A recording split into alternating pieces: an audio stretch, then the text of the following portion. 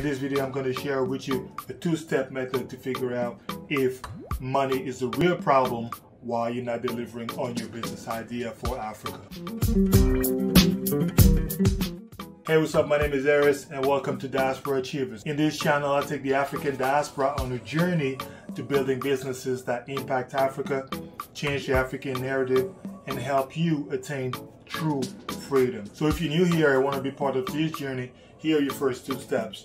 Number one, go ahead and click on the subscribe button below this video and make sure you click on the notification bell so that you get notified every single time I release a new video that helps you make an impact on the continent. And number two, take a look at the description section below this video and then you'll find a bunch of resources that will help you right now to make uh, your first step. So the reason I'm putting this video together is that I'm getting a lot of questions or complaints around, hey, I'm not making any move because I need money, I don't have enough money, and all that stuff. I just run a summit for Africans in diaspora who want to start a business and impact Africa.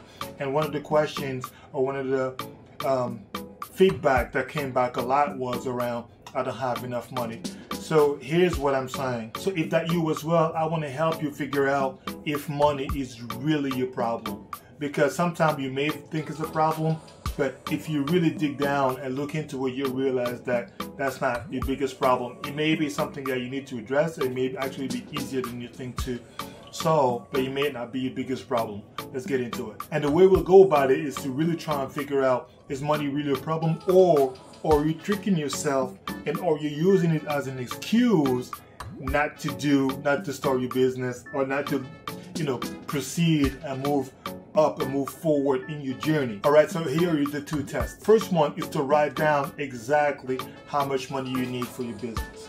It doesn't have to be, you know, plus or minus 100%. You cannot, you can't say, yeah, it may be, you know, between 100 and and you know 500,000 or between 5,000 and 10,000 you know you may be able you should be able to um, provide a number that's closer, right?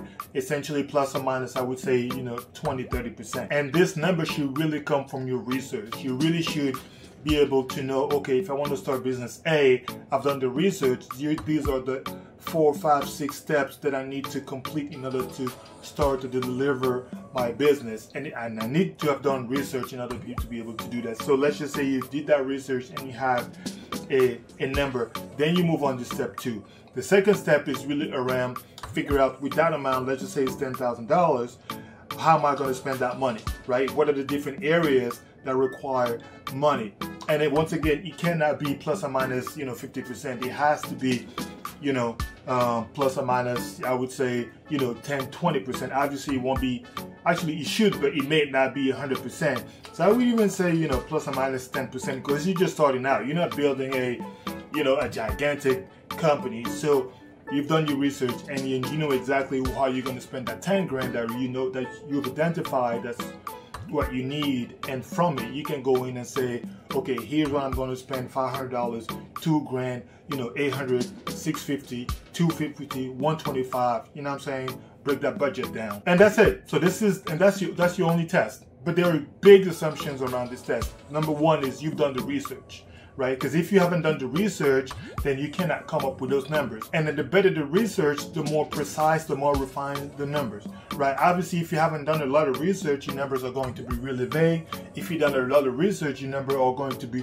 really precise and close to reality. And then the other assumption too is that you're motivated enough to have done a thorough and in-depth research in terms of figuring out how much money you need and where you're going to spend it, you've done that research without or before having the money. And then the reason I'm saying this very point is I've come across a lot of people who are saying, well, I don't want to spend the time, I don't, I don't want to spend the money. And the very reason why I'm bringing this point up is I've come across a lot of people who are saying, I don't want to spend the time and my energy because I don't have money anyway. So what's the point of me, you know, trying to figure out how much I need if I don't have money, right? So it's basically to me, it's really backwards, right? You cannot say I need money in order to figure out what I'm going to do with the money.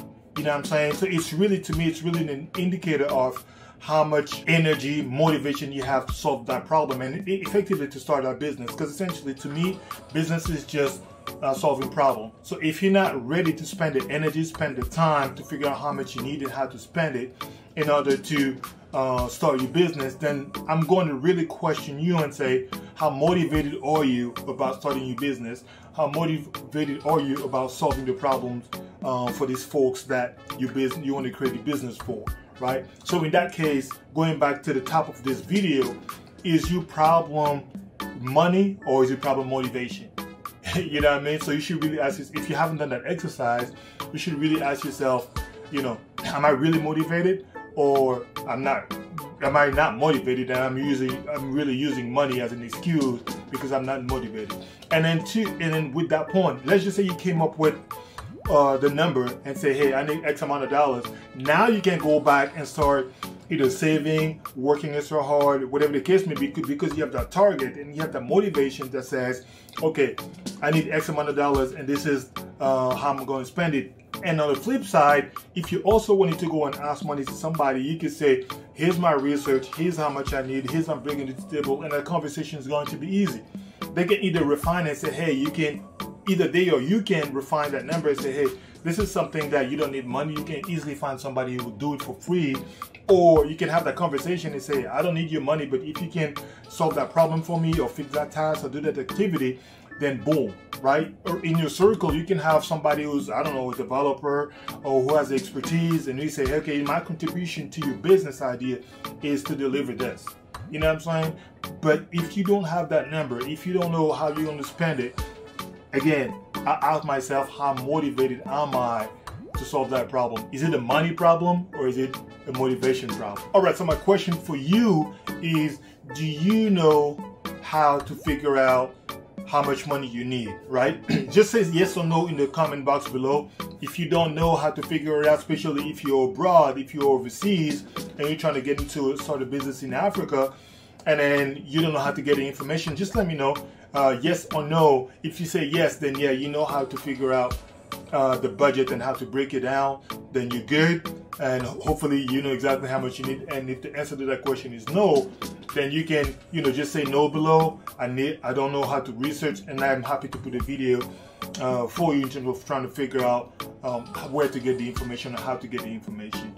All right, peace.